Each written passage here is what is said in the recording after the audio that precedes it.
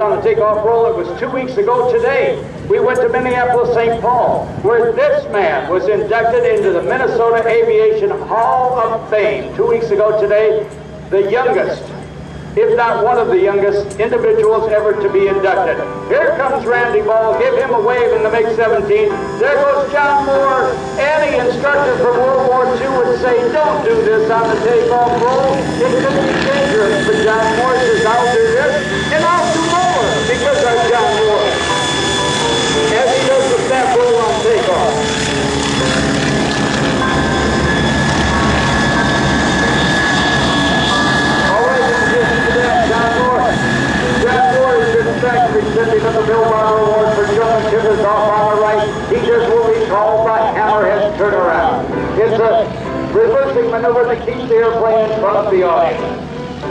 Now, there was a maneuver that was created quite by accident back in 1936. It was in Miami, Florida, when a young pilot was competing in a aerial cockpit that looked too low. So rather than wish himself through a loop and perhaps have an accident, he did a little something that John is going to show you. And he was the first to do it. His name was Ron eight in the sky with a figure eight laying on its side. So here was Ron Colby. He was going to do that loop. He got here and he said, this is never going to work. So rather than continue the loop, he stopped. He was upside down. He rolled right side up. He had the biggest body for the loop. It felt so good, he did it again. He drew, he drew out what he called a Cuban 8. At that time, Red Colby was the chief flying instructor for Batista Cuban Air Force. We have continued to name that maneuver the Cuban 8, despite our strange relations with that country's dictator. Louis John Mohr now, he will complete group, the very first aerobatic that was completed by Lincoln Beachy way back in 1913. Okay, out of the loop now, into the barrel roll maneuver. In addition the being the recipient of the Bill Barber Award for Showmanship, given at Oshkosh one time a year to one individual or one team. This man is also the recipient of the Art Scholl Memorial Showmanship Award. That too given to one individual or one team one time a year at our Black Tie Awards banquet in Las Vegas, Nevada in December. Okay, watching what nobody wants to do. With a four-point hesitation, roll stopping. One, twice, three times, and four times. Now, John is going to reposition the airplane. Using skill, using the wind, using the wing, and using imagination, he executes that turnaround maneuver that they call in the United Kingdom the vertical reverse. He's going to set up and double the difficulty factor. After that four-point hesitation roll, he will stop his airplane every 45 degrees of rotation. Big hesitation roll gives that more big round of applause as he lays that player down to the ground. Now you know when you're watching sports on TV, if they get to a real good play, they say, let's watch that again in slow motion. So John Mohr's going to be coming in from the right and doing one of the most difficult maneuvers that a pilot can do. We call it the slow motion roll.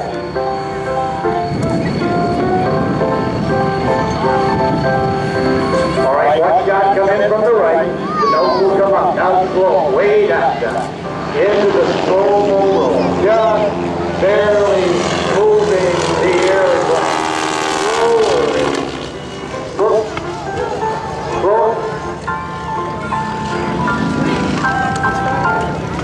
And we call that maneuver the gotcha. Gotcha, ladies and gentlemen. All that delivered from John. Oh, yeah, you know it doesn't have an inverted system that fuel accumulates, the fuel pump's still pumping it out, and we got raw flames, and we got the engine, ladies and gentlemen. All right, now, you saw the original Cuban 8. There is another maneuver that you can do that draws out the figure 8 in front of you. It is the reverse Cuban 8. Instead of diving, and doing your loop from the bottom to the top, you do it the opposite way from the You roll the airplane upside down. Keep climbing, keep climbing, keep climbing. Now you're drawing the loop from the top. That comes the control stick into a nice arc. The right side of that figure eight laying on the side Really do that again on the left side. Climbing first for an altitude, rolling upside down, holding it there to minimum speed. A nice arcing turnaround, fueling up the smoke, and again the figure eight in the sky is complete. Now John's gift to you. He's about to show you. It is a box. The square loop in the sky.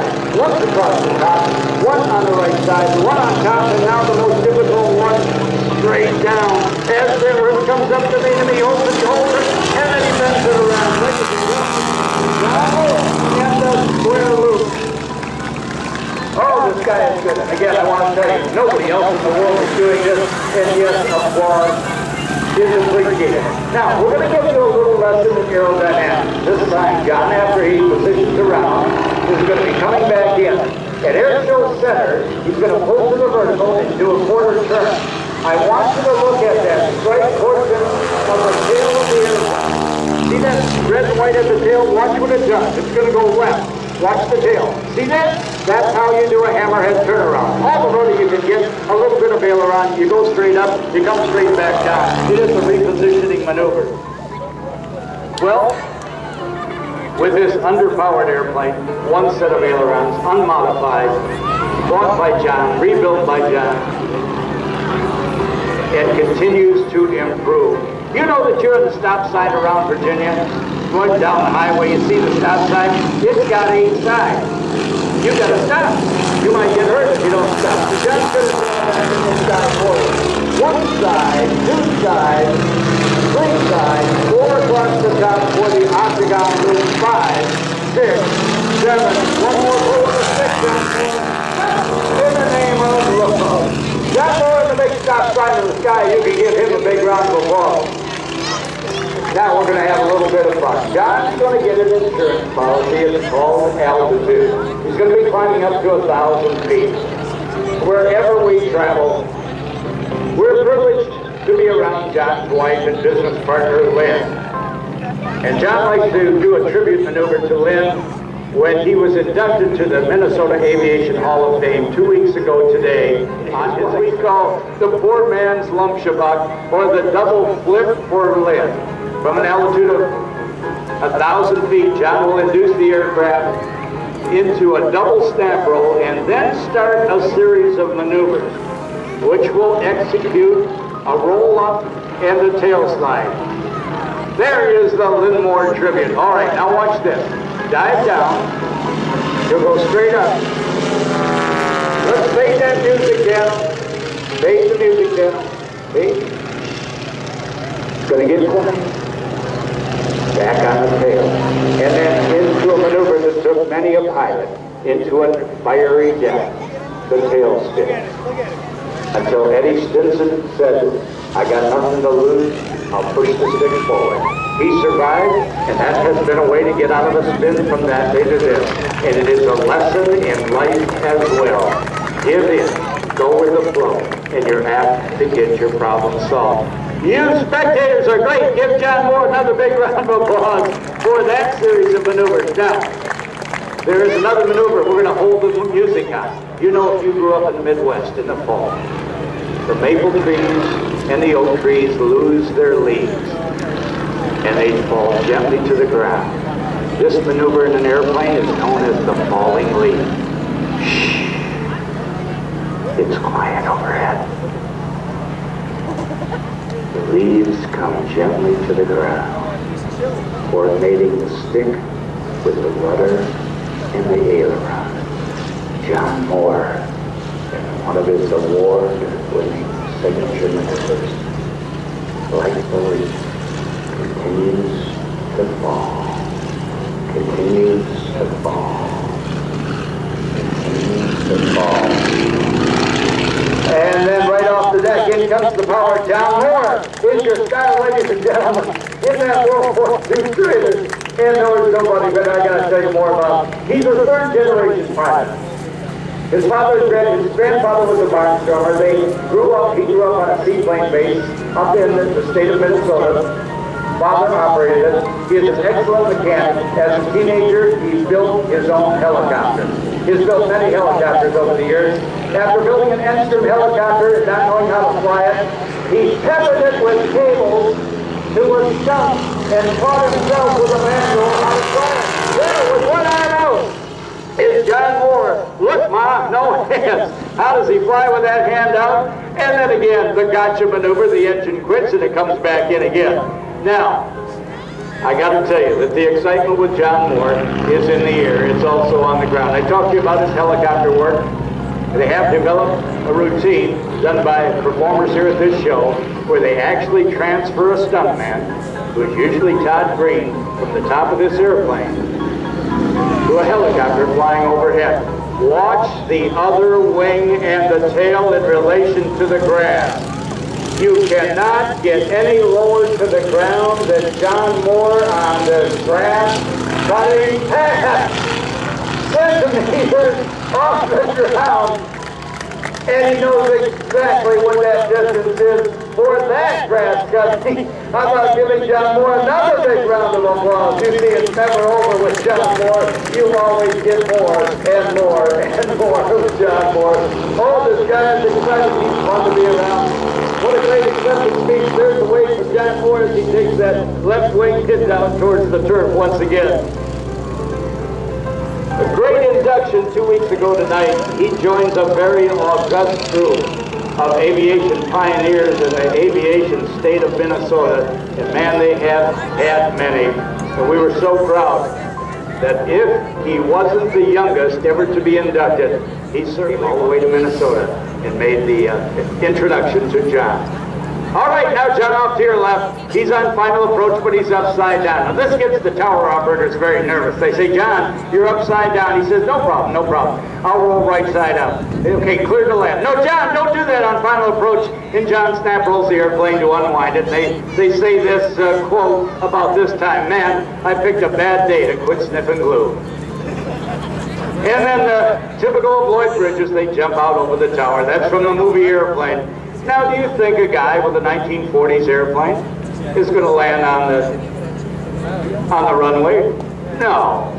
This airplane started out to be a grass field airplane, and that's where it is happy. So John puts it down in the grass. You have just watched the only man in the world that can make a stock World War II trainer dance like this. And when John Mohr passes in front of you, give John Mohr a big wave. Again, the noise from your applause is not heard, but the animation of your wildly waving arms and hands and hats are what he would appreciate. Hey, wait a minute, how can he keep that tail up?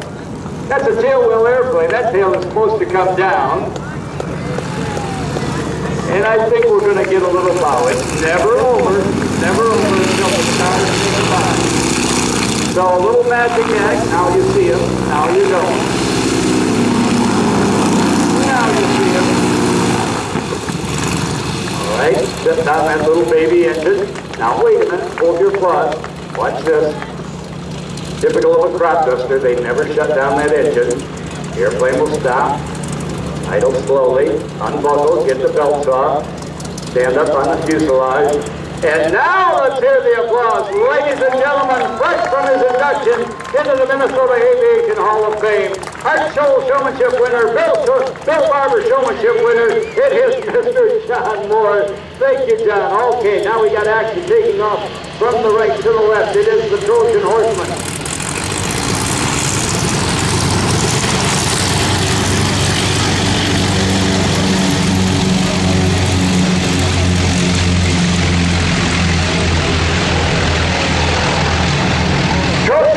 now are taking off to go into position. John Mohr on the taxiway in front of the Thunderbird. The T-28s of the Trojan Horses are taking off in L-122. The trainer that was built by North American Aviation after the war, a six-ship element, will be part of today's show.